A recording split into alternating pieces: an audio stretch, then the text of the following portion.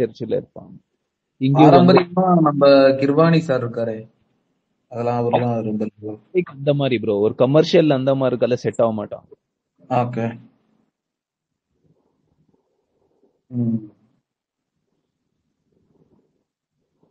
ஆனா ட்ரிபிள் ஆர்லாம் எனக்கெல்லாம் அவர் வந்து தமிழ்லயே நிறைய பண்ணிருக்கிறாராம் அந்த மரகதமணிங்கிறவரு. நமக்கு எங்கதான் தெரியும் நமக்கு இப்ப லாஸ்டா ட்ரிபிள் ஆர் பாகுபலி இதெல்லாம் பார்த்து தானே தெரியுது. அதுக்கப்புறம் தான் ஒரு ஏங்க அவர் ஃபர்ஸ்ட் படமே ஃபர்ஸ்ட் படமே ஃபர்ஸ்ட் படமே தமிழ் தாங்க. அதுதான் அது வானமேலை தாங்க ஃபர்ஸ்ட் படம். ஆமாம் ப்ரோ பாலச்சந்தர் வந்து மூணு பேர்த்த லான்ச் பண்ணாரு. தேவா இவரு ரஹ்மான். ரஹ்மான் ரோஜால ரோஜால. அப்புறம் இவரு மரதமணிக்கு வந்து வானமேலை இதெல்லாம் ஒன்னா பூஜைப்பட்ட படம். அவர் தான் கீரவாணி. இப்போ இவரு அப்பேர மாதிரி அங்க தெலுங்குல அந்த பேர் வச்சிருக்காருல ஆ. சூப்பரா இருக்கும். அப்பயே அது இளையராஜாவோட நடந்த ஒரு பிரச்சனைங்க. அவருக்கு வந்து இளையராஜா வந்து ரொம்ப ஓவரா கொஞ்சம் டாமினேட் பண்றாரு. ஈகோவா இருக்காரு அப்படின்னா இளையராஜா இல்லாம ஒரு படம் இட்டு- கொடுக்க முடியாது இண்டஸ்ட்ரியில அப்படின்ற மாதிரி இருந்தாலும் இளையராஜா இல்லாம என்ன? இளையராஜா எல்லாம் படம் பண்ண முடியாதா? நாங்க பண்ணுவோம் அப்படின்னு சொல்லி லான்ச் பண்ணதான் ஏஆர் ரமனை பண்ணாங்க. இவர் மரகதமணி கீரவாணியை பண்ணாங்க. தேவாவை பண்ணாங்க. ஸோ எல்லாமே பெரிய ஹிட் ஆயிடுச்சு. அதுலதான் பெரிய அடி விழுந்துச்சு ஏஆர் ரஹ்மானுக்கு இது இவருக்கு இளையராஜாக்கு அந்த டைம்ல தான். அதுக்கப்புறம் தான் இளையராஜா மார்க்கெட் குறைஞ்சது. அன்னமயா தான் சார் ரொம்ப இதாயிடுச்சு. அவருக்கு அவார்டு வந்தது அன்னமயாக்கு தான். கீரவாணி சாருக்கு அன்னமயா அதுக்கப்புறம். அதுக்கப்புறம் ஏஆர் ரஹ்மான் இங்க தமிழ்ல வந்து சூப்பரா போயிட்டாரு. அவருக்கு தெலுங்குல சூப்பரா போயிட்டாரு. தேவா ஒரு சைடுல வந்து பின்னி பெடல் எடுத்திருந்தாரு அன்னமயா இப்ப கூட ரொம்ப ஃபேமஸ் அங்க. திருப்பதியில எல்லாம் போட்டிருப்பாங்க. பாட்டுங்க அப்பப்போ.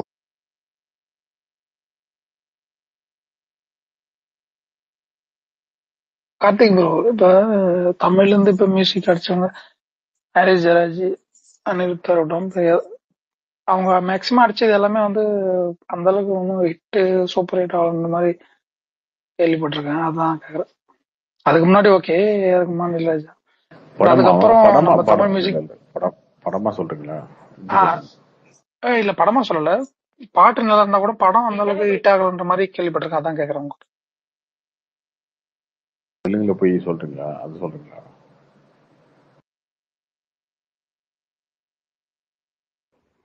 இல்ல ப்ரோ அவங்க நெக்ஸ்ட் அனிருத் விட்டா யார் இருக்காங்க? பேக் ஐ மீன் பேக்கப் ஆனு கேட்டேன் இருக்காங்க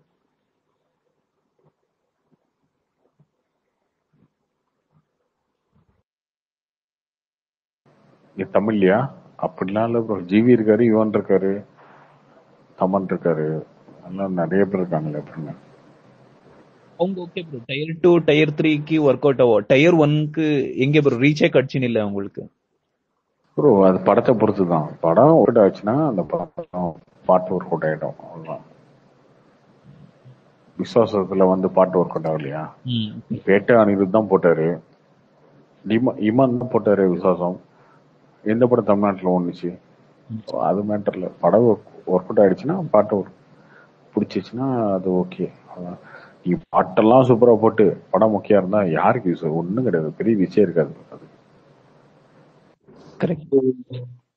கைதி படத்துல பாட்டு கிடையாது. ஆனா அந்த படத்துல தான் சாம் சிஎஸ் அவரு பட் ஆனா அதுக்கப்புறம் லோகேஷ் வந்துட்டு அவர் கூட அது அந்த பிஜிஎம் பிஜிஎம் அது அந்த பிஜிஎம்ங்க அது அந்த பிஜிஎம் டோட்டல் இதுவா இருக்கும்ப்பா ரொம்ப ஒரு த்ரெட்டனிங்கா இருக்கும் அவரோட மியூசிக்லாம் பட் அதான் சொல்றேன். அவரு அதுக்கப்புறம் வந்துட்டு அவரு அனிருத்தோட தான் வந்துட்டு என்ன சொல்றது கொலாபரேட் பண்ண அப்படி.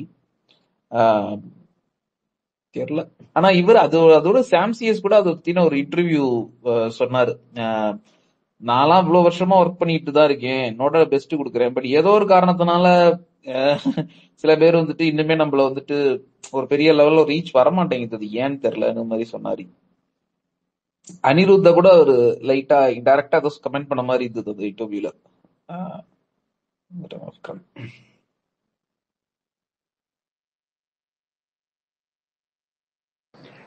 அப்படிலாம் கிடையாதுங்க. ஏதோ ஒரு உங்களுக்கு ஒரு படம் பெரிய படமா மாட்டும் இல்லைன்னா ஒரு படம் ஒரு அந்த படம் பெரிய படமா மாறும். இப்போ மெயினா இப்போ இமான் வந்து எப்படி வந்தாரு? மைனான்ற ஒரே படம் தான். அந்த படத்துல வந்து அந்த பீக்கு அதுக்கப்புறம் கும்கி அதுக்கப்புறம் பாத்தீங்கன்னா விஜய் அஜித் அஜித் எல்லாருக்கும் படம் பண்ணிட்டாரு. ஜெயம் ரவி. அந்த மாதிரி மாட்டும் அந்த மாதிரி மாட்டோம் அது அது சொல்ல முடியாதுங்க. படம் ஹிட்டை பொறுத்து. அதுதான் படமும் ஓடணும் அதுதான்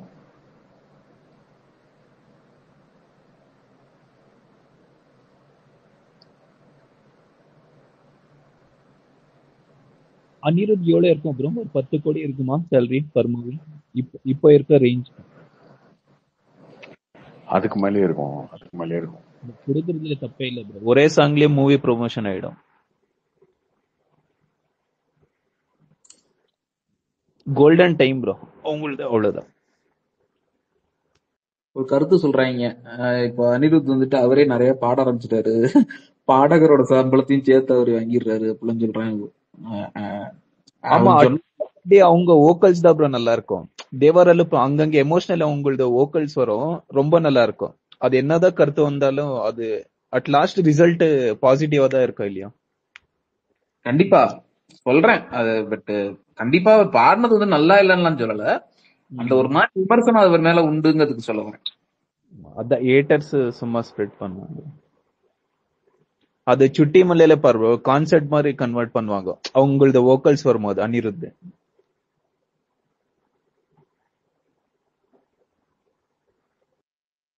அனிருத் ஏதாவது ஒரு படத்துல ஒரு மெலடியஸான ஒரு ஃபுல் அண்ட் ஃபுல் ஒரு மியூசிக்கல் அந்த மாதிரி இருந்துச்சுன்னா நல்லா இருக்கும் full and full I don't know அதெல்லாம் பண்ணிருக்காரு காத்தோக்கில் ரெண்டு கதையெல்லாம் பண்ணிருக்காரு அப்படி பார்த்தா சூப்பரா இருக்கும்.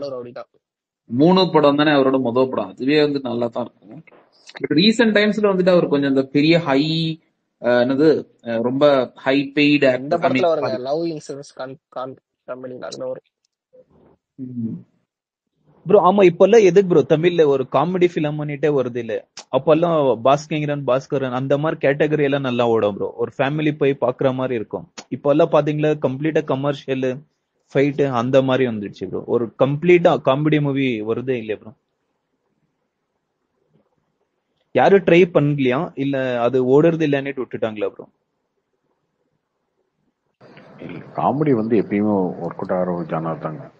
அது யாரும் பண்ணல ட்ரை பண்ணல அவ்வளவுதான். சேஃப் சைடா வந்து யாருக்கும் இங்க படம் எடுக்க தெரிய மாட்டேங்குது யாரும் ப்ளேம் பண்ண நினைக்காதீங்க அது கமல் சார் தான் வந்து இந்த ஃபைட் மாஸ்டருக்கு சம்பளத்தை கொடுத்து ஐம்பது நாள் ஷூட்டிங்னா அவனை ஒரு நாற்பது நாள்ல உட்கார வச்சுக்கிட்டு அவன் பாதி படத்தை எடுத்து கொடுத்துருவான் மீதி படத்தை கேமராமேன் எடுத்துருவான் மிச்சம் மீதி கொஞ்சம் ஏதோ இங்கிலீஷ் படத்தை பார்த்து சுட்டு ஒரு கதையை வச்சோமா அந்த கதையில இவனுங்களே மேக்கப் பண்ணி எடுத்து கொடுத்துருவானுங்க. அதுக்கப்புறம் நம்ம டேரக்டர்னு போட்டுக்கலாம். யார் எழுதுறா? ஸ்கிரிப்ட் எழுதுறது டைலாக் எழுதுறதுல ஒரு இளவும் எழுதுறது இல்ல காமெடி படம் எடுக்க முடியல? காரணம். வேற காமெடி படத்துக்கு எல்லாமே எழுத வேண்டியிருக்கு. காமெடி படத்துக்கு டைலாக் எழுதணும் ஸ்கிரிப்ட் எழுதணும் எல்லாமே பண்ணி ஆகணும் அதுதான் பிரச்சனை. கமல் அப்படி பண்ணுவாரு இல்ல ஃபர்ஸ்ட் ஒரு படம் ஆக்ஷன் ஒரு படம் காமெடியா எடுப்பாரு. கமலுக்கே சம் சம்பந்தம் அந்த மாதிரி. கிரேசி மோகன் தான் எழுதுவாருன்னு நினைக்கிறேன் அப்போ. பெருமாட்டி ரெண்டு ஒரு வருஷம். அந்த மாதிரி அதெல்லாம் முன்னாடி அப்பயுமே ரைட்டர்ஸ் இருந்தாங்க. கிரேசி மோகன்லாம் இருந்தாரு சப்போர்ட் பண்ணாரு அவருக்கு அதனால. அப்பெல்லாம் வருஷத்துக்கு ஈஸியா எடுத்துருவாரு. காமெடி கூட ஈஸியா எடுத்துருவாரு. த்ரீ மந்த்ஸ்ல நான் கார்த்தினா ஒரு ஒரு இது இந்த பிரியங்கா மோகன் இடையில ஒரு ஃபேன் கூட ஏதோ சொல்லிட்டான்னு சொல்லிட்டு ஒரு விஷயம் ஆச்சுல அதை நீங்க பாத்தீங்களா? என்னது செல்ஃபி எடுக்க வந்த ஒரு பையன்ட்ட சொன்னாரு. ஆமா ஆமா எல்லாரும் வந்து இப்ப ட்ரோல் பண்ணிட்டு இது என்ன அது என்ன எல்லாம் கோவப்படுற மாதிரி காட்டிட்டு இருந்தாங்க. அப்புறம் அந்த கிருத்தி செட்டி வந்து ஃபேன்ஸ்க்கு வந்து ஸ்வீட் கொடுக்குறா பாருங்க இப்படிதான் இருக்கணும் அப்படின்னு சொல்றாங்க. இதை நீங்க எப்படி பாக்குறீங்க. எப்படி பாக்குறீங்க எனக்கு புரியல. எனக்கு கிருச்சி சேர்த்து அடுத்து லேடி சூப்பர் ஸ்டார் ஆக்கிங்க ஏ எப்ப பார்த்தாலும் சோசியல் மீடியாக்காரன் அவங்க என்ன சொல்றாங்க என்ன ஏன் என்ன எதுக்கு எதுக்கு ஃபாலோ பண்ணிட்டு வர? வீடியோ வரைக்கும் வர? வீடியோ வரைக்கும் ஃபாலோ பண்ணிட்டு போறதே கேவலமான வேலை தானே அதுதான் நான் சொல்லியிருக்கேங்க அப்புறம் என்ன? அதுதான் அதுதான். அதான் கேட்கலானே வந்தேன். ஆக்சுவலா ஏன்னா உங்களுக்கு இவங்க பண்றது வந்து தப்பு தானே இப்போ ஒரு அவங்க பொண்ணா இருக்கும் போதே நம்ம இந்த கொஸ்டின் கேக்குறோம் ஒரு ஒரு ஒரு ஒரு மேல் ஆக்டராவே இருக்கட்டும் சும்மா அவனை ஃபாலோ பண்றதும் ஒரு இடத்துல இருக்கானா அங்க போயிட்டு நீ போட்டோ கேட்டா இவங்க எதுவுமே சொல்லக்கூடாது. அதாவது ஒரு ஆக்ட்ரஸ் ஆக்டரோ இருந்தாக்கா நீ வந்து பப்ளிக் ஃபிகர் நான் என்ன கேட்டாலும் நீ பண்ணணும். அந்த மாதிரியே ஒரு மைண்ட் செட்ல இருக்காங்களோன்னு இருக்கு. அவங்க அது சொன்னதை வந்து அவ்வளவு ட்ரோல் பண்றாங்க. ரொம்ப கண்ணாப்பின்னான்னு அப்படியே கிருத்தி செட்டி வீடியோ எல்லாம் எடுத்து போட்டு அவங்களும் அதே மாதிரியே இருப்பாங்களா. என்ன நீ எப்போ வந்தாலும் உனக்கு வாயில ஸ்வீட் கொடுப்பேன். அப்படியா இருப்பாங்க. அண்ணன் வந்துட்டாரு. சார்ந்த நான் கருத்து தெரிவிப்பாரு இதுல. ஏங்க அதுவும் வந்து எங்க இந்த சோசியல் மீடியால இருக்கவனுங்களுக்கு எதுவுமே தெரியாதுங்க. இவனுங்களுக்கு மேலேயும் தெரியாது கீழேயும் தெரியாது. இவனுங்க பாக்குறதா உலகம் வாழ்ந்துட்டு இருப்பானுங்க. அந்த உலகமே எப்படி இருக்குன்னா அந்த முப்பது செகண்ட் தான். அந்த முப்பது செகண்ட்ல இவங்க பாக்குறது தான் உலகம் மோகன் பேட் ஆட்டிடியூட் ஒரு ஃபேன் பண்ணா அவங்க ஏண்டா நடிக்க தான்டா செய்ய முடியும். நீங்க என்னென்ன தான்டா பண்ணுவீங்க டார்ச்சர் பண்ணுவீங்க ஃபாலோ பண்ணுவீங்க அஹ்? அவங்களும் ஒரு பொண்ணு தானே அவங்களுக்கு என்ன நாலு கை ரெண்டு தலை இருக்கா? அவங்களும் பொண்ணு தானே ஆம்பளையாவே இருந்தா கூட என்னங்க ஆம்பளையாவே எல்லாரும் சைலண்டா இருங்க. சிவா நீ பேசு சிவா நான் உட்காந்து நீ பேசு. அண்ணா அண்ணா அண்ணா பிரசாந்த் நல்லா அண்ணா உனக்காக தான் வெயிட்டிங் அஹ் இல்ல இல்ல நான் தான் கால் பண்ணேன் பிரசாந்த் சார் வந்த உடனே பிரசாந்த் சார் வந்த உடனே இனிமே லப்பர் பந்து பாட்டு போட்டா நல்லா இருக்கும். நான் தான் இப்ப போன் கால் பண்ணேன். கழுவாதீங்க. அண்ணன் பாட்டு போடுங்க. நீ பொட்டு வச்ச நம்மளே பாடுவோம் அண்ணனுக்கு. நீ தங்க கட்டி சிங்க குட்டி. இனிமே இப்படி பாட்டு இருந்தா போதும். நீங்க புடுங்க புடுங்கன்னு புடுங்குவீங்கன்னு எங்களுக்கு தெரியும் போதும் ஐயப்பா மாசம் மாசம் அள்ளி குவிக்கிறீங்க ரெவன்யூ ஒரு சீரியல் செட் கிட்ட வாங்கி வச்சு ஒரு பாட்டு கிட்ட போட்டு நீயே பாடினா வாயில. உன் வாயில பாடினாதான் நல்லா இருக்கு. ஆமாண்டா. ஆமா. என் வாய் வந்து பெரிய எஸ்பிபி வாய். இல்லடா என்ன ஆனா என்ன வந்து ஒரு சின்ன தம்பி ஆக்கிட்டீங்கடா எல்லாரும். வந்தோடனே எல்லாம் வருங்காலத்துல சான்ஸுக்கு டேரக்டர் மியூசிக் டேரக்டர் வந்து கூப்பிட போறாங்க பாத்துங்க அவங்க பாட்டுக்கு. இல்ல அதான் அவன் வந்து சம்சாரத்தை கட்டி பிடிச்சிட்டு ஹெட்போன்ல வந்து என்னை கேட்டு படுக்கிறீங்க. இது என்ன மாதிரின்னு எனக்கு தெரியல நாடி எங்களை எல்லாம் மொட்டை பையன் ஆக்கிட்டு நீங்க குடும்பத்தோட படுத்துட்டு இருக்கிறீங்க. இருறா ஏதாவது பேசி கம்ப்ளீட்டா பிரிச்சு விட்றேன் இவனு எல்லாம் சம்சாரத்து பக்கத்துல இப்போ படுத்துக்கிறவனுங்க எல்லாம் சொல்றேன் நானு. இன்னும் ஒரு மணிக்கு ஒரு மணிக்கு எப்ப பார்த்தாலும் இங்க வந்து உட்காந்து ஹெட்போனை போட்டு கேட்டுருந்தீங்கன்னா சிஸ்டர்கிட்ட சொல்லி சண்டையை பிடிச்சி ஒரு மாசம் வெளியே படுக்க வைக்கிற மாதிரி ஏதாவது ஒன்று பெருசா ஸ்கெட்ச் போட்டு பண்ணி விட்டுருவேன் பார்த்துக்குங்க. மரியாதையா கொண்டாட்டி இருக்கிறவனெல்லாம் மரியாதையா பத்து மணிக்கு போய் கம்முன்னு படுத்து குப்பரப்படுத்து தூங்குறீங்க. காலையில ரெக்கார்டிங் வரும் கேட்டுக்குங்க. ஒரு மணிக்கு என்னடா? ஏண்டா? குடும்பத்தை வச்சுட்டு சம்சாரத்தை வச்சுட்டு உங்களுக்கு எல்லாம் இங்க என்னடா? வெறுப்பா இருப்பானுங்க போல. உங்கள்ட்ட தான் எப்ப பார்த்தாலும் பேசிக்கிட்டு இருக்கோம் இல்லனே உங்கள்ட்ட பேசுறதுக்கு தானே வந்துட்டு லைவா இன்டராக்ட் பண்றதுக்கு ஆப்பர்ச்சுனிட்டி ஆமா ஆமா நான் பெரிய வந்து பாரக் ஒபாமா என் கூட பேசி உலக அரசியல் நாட்டு நடப்பு பெரிய நிதி நிலைமை இதெல்லாம் தெரிஞ்சுட்டு போய் நாளைக்கு வந்து வாழ்க்கையில பெரிய ம- பெரிய மனிதர்களாக போறீங்க. அதாவது கார்த்தி சொன்னதுதான் பிரியங்கா மோகன் மட்டும் இல்ல பாவம் நடிகர்களுக்கு இந்த பெரும் டார்ச்சர் எல்லா பக்கமும் இருக்கு. நான் இப்போ வடக்குப்பட்டி ராமசாமி ஷூட் பண்ணிட்டு இருக்கிறப்ப சந்தானன் எங்கன்னா இந்த பழனிக்கு பக்கத்துல ஒரு ஷூட் பண்ணோம். ஒரு சீக்வன்ஸ் ஒரு ஓடுற சீக்வன்ஸ் ஷூட் பண்ணோம். சந்தானன் வந்துட்டாரு. வந்துட்டு அவர் ரொம்ப சந்து சந்தா இருக்கும் பாத்தீங்கன்னா அந்த ஏரியா வந்தாச்சு. ரைட்டு பர்மிஷன்லாம் வாங்கியாச்சு. சந்தானனை வந்துட்டாங்க. சந்தானம் துரத்திட்டு வரணும். எ- எங்களைய துரத்தணும். அந்த சேசிங் சீக்வன்ஸ் மாதிரி ஒரு செகண்ட் ஹாஃப்ல அதுல ஜஸ்ட் சேசிங் சீக்வன்ஸ் அவ்வளவுதான். வரணும். வந்துட்டாங்க. சாப்பிடல ஒரு சாப்பிட்டு இருந்தார். வந்துட்டானுங்க. போட்டோ எடுக்கிறதுக்கு. எல்லாம் வந்தாங்க. வந்தாச்சு இதான் சரக்கை போட்டு வந்துட்டான். சரக்கை போட்டு வந்துட்டு நாலு தடவை போட்டோ எடுத்துட்டு போனான். இவரும் கம்முனே நின்று இருந்தாரு. அஞ்சாவதோட முத்தம் முத்தமிட்டு ஒரு போட்டோகிராஃப் அப்படி வந்து அவரு சாப்பிடுவாரா? இல்ல இவனுக்கு போட்டோகிராஃப் நான் போனேன். ஏன்னா அறிவு இருக்காயா உனக்கெல்லாம்? நான் போய் கேட்டேன். அறிவு இருக்காயா? ஏயா நாலு தடவை நாலு தடவை ஒரு சாம் கொடுத்தாரு அஞ்சாவது தடவை சாப்பிட்டு இருக்காரு. அவர்கிட்ட போய் இந்த டார்ச்சர் பண்றியா அப்படின்னு. அதெல்லாம் கிடையாது. நடிகர்னா போட்டோ கொடுக்கணும் அப்படிங்கிறானுங்க. அப்ப நடிகன்னா நடிகைன்னா அவளுக்கு எந்த எமோஷன் கிடையாது. ஏன்டா கூத்தாடிகள் அப்படிங்கிறது. பார்க்காதீங்கடா. ஆனா அவ்வளவு கூத்தாடிகள் உங்களுக்கு எல்லாம் வந்து ரொம்ப மோசமா இருந்தா பார்க்காதீங்க சினிமா அவாய்ட் பண்ணுங்க. ஒன்றும் பிரச்சனை இல்லை. பார்த்துடலாம் சினிமா செத்துருதான்னு பார்த்துவோம் எல்லாமே சினிமா ரெஃபரன்ஸ் இருக்கிறங்காட்டிக்கு தான் இங்க வண்டி ஓடுது.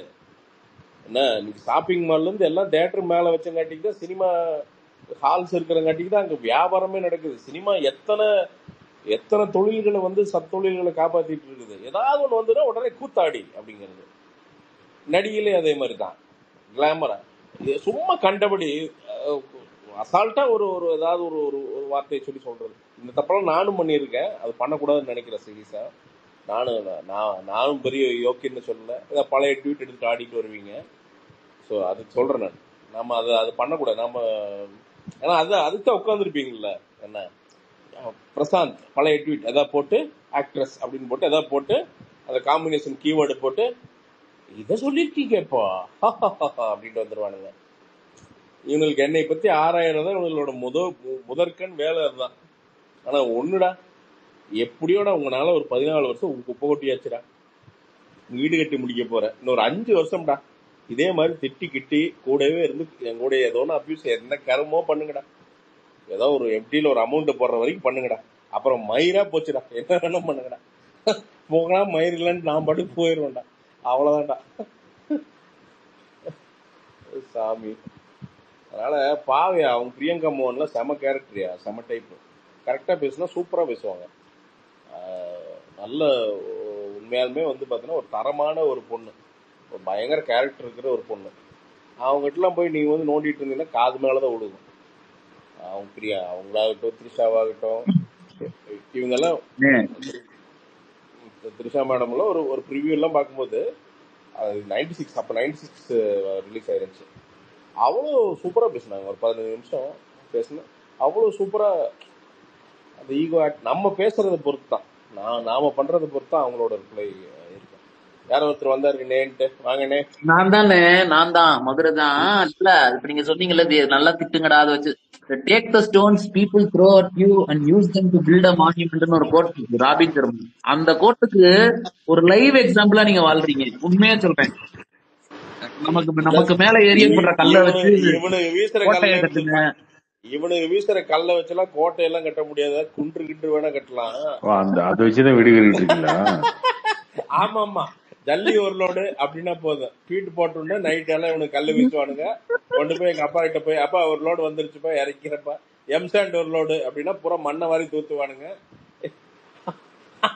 அதை கொண்டு போய் கொடுத்தோன்னே எம்சாண்ட்ல வீடு கட்டுவான். ஆனா பார்த்தா ஒரு இன்டெரக்டா அப்படின்னு கூட சொல்றேன்.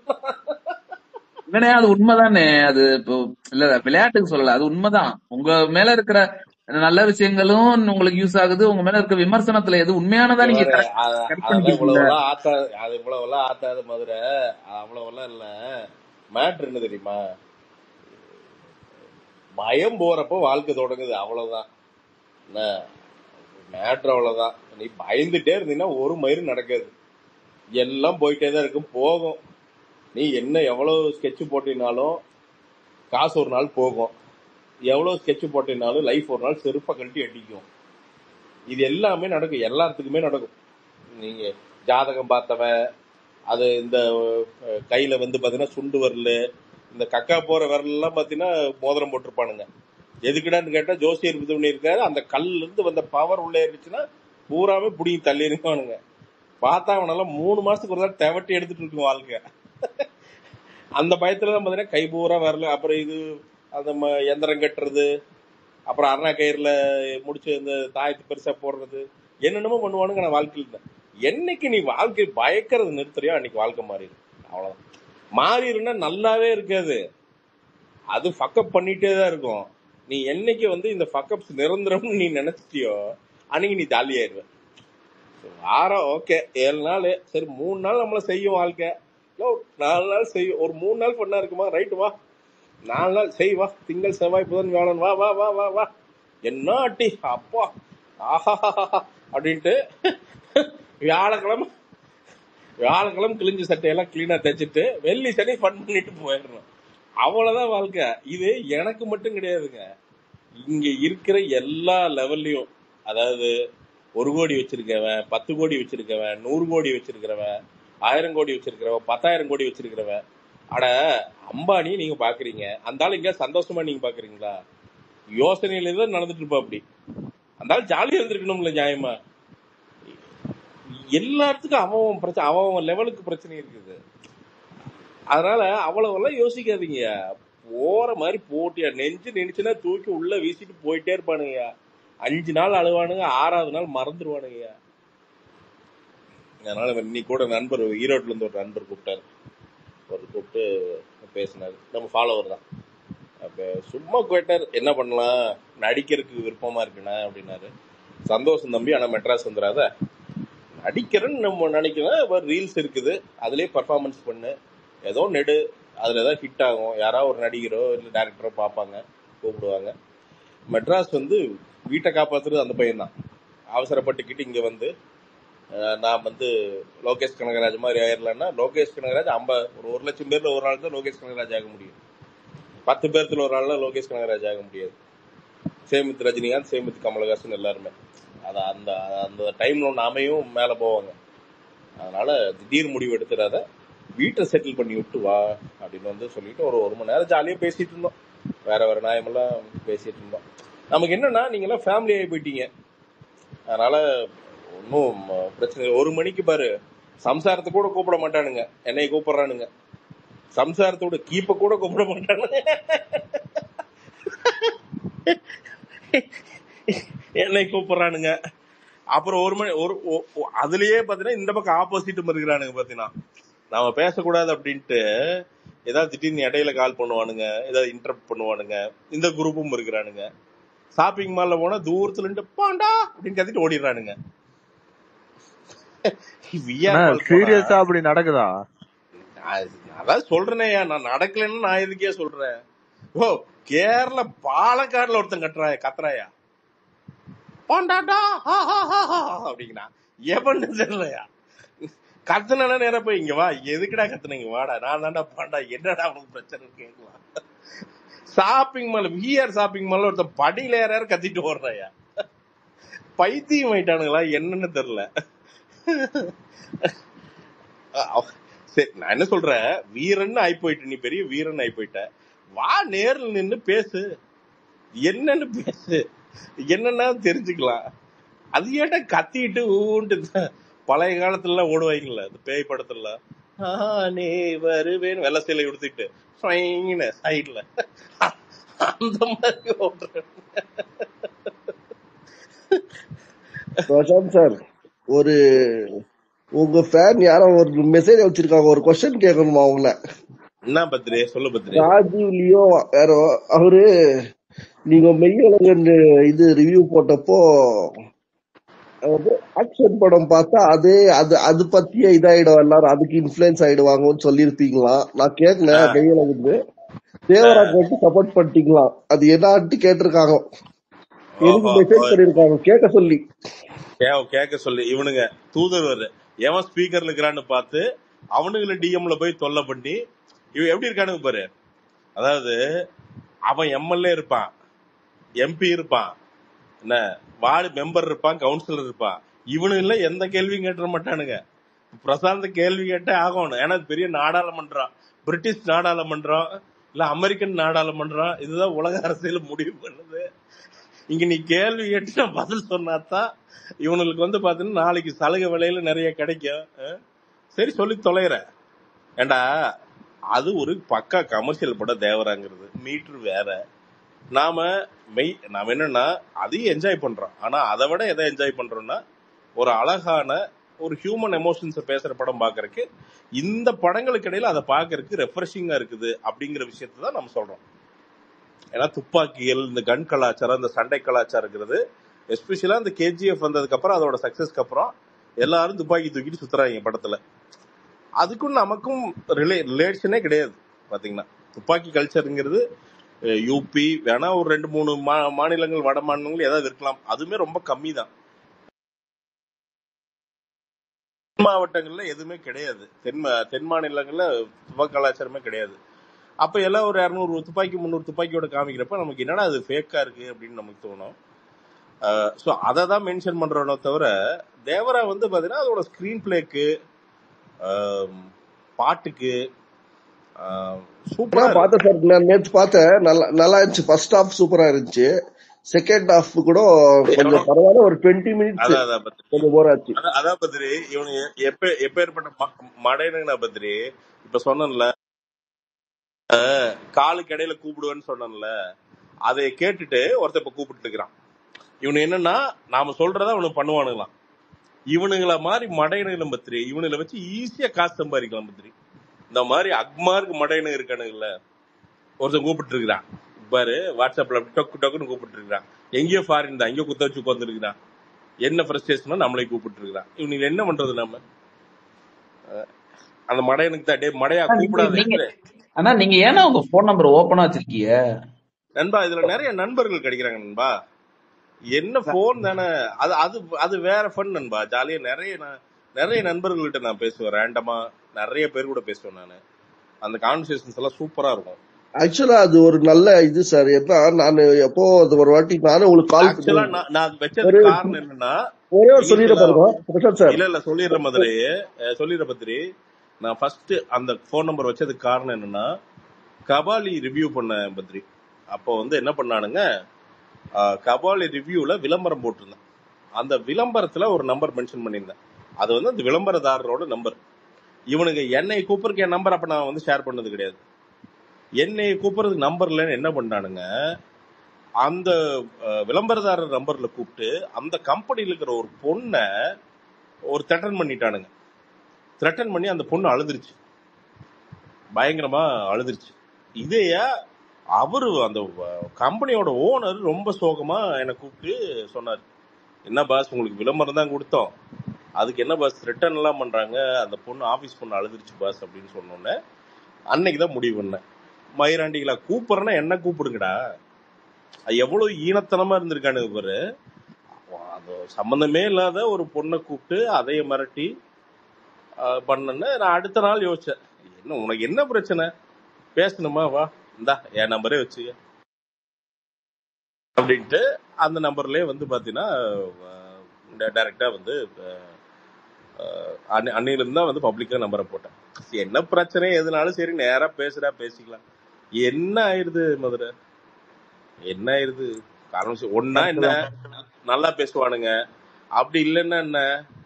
சர்க்காஸ்டிக்கா பேசுவானுங்க. அப்படி இல்லைன்னா அபியூஸ் பண்ணுவானுங்க. நீங்க வந்துட்டு ஒரு பிசினஸ் மேனு உங்களுக்கு பல விதத்துல சினிமா அதெல்லாம் நிறைய இருக்குல்ல இவங்களோட நடுவுல இருக்கிற கிராஸ் டாக்ல வந்துட்டு டிஸ்டர்ப் அதுக்கு சொன்னேன். இல்ல இல்ல. அது இல்ல. நான் ரொம்ப ஆக்சுவலா மீனிங்ஃபுல்லா பேசுனாங்கன்னா நான் உட்காந்து டைம் எடுத்து பேசி நான் நேத்து ஒரு நண்பர் பேசினாரு. திண்டிவனத்துல இருந்து ஒரு நண்பர் பேசினாரு. அவங்க இங்க காலேஜ் ப்ரொஃபஸரா இருக்கு அப்படி.